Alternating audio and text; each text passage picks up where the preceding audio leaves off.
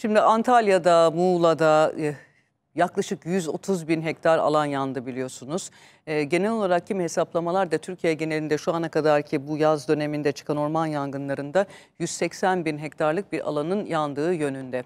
Şimdi Manavgat'taki orman yangını soruşturması devam ediyor ve yangını çıkarttığı iddiasıyla tutuklanan sanık hakkında bir ses kaydı ortaya çıktı.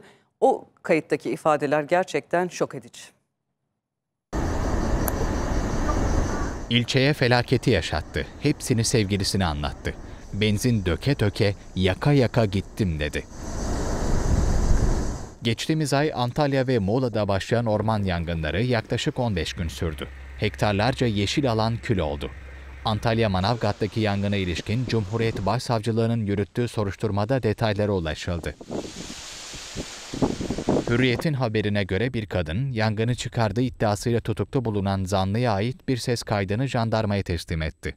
Şahit olarak ifadesi alınan kadın, zanlının para karşılığında orman yangını başlattığını söyledi.